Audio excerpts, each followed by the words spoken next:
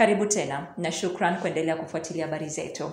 Na wakazi wa mji wa Maimahiu wanaishi na hofu kupitia kufuatia mitetemeko minne iliyoshuhudiwa leo katika eneo hilo, kama anavyotuarifu mwandishi wetu Dina Mkalo.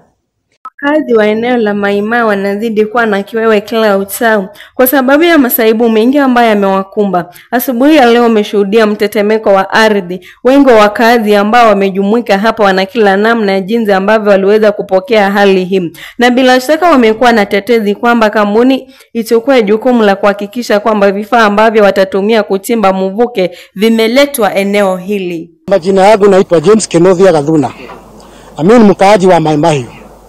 Leo usiku wa leo kumetokea mambo mazito sana kwa sisi wakaaji wa hapa.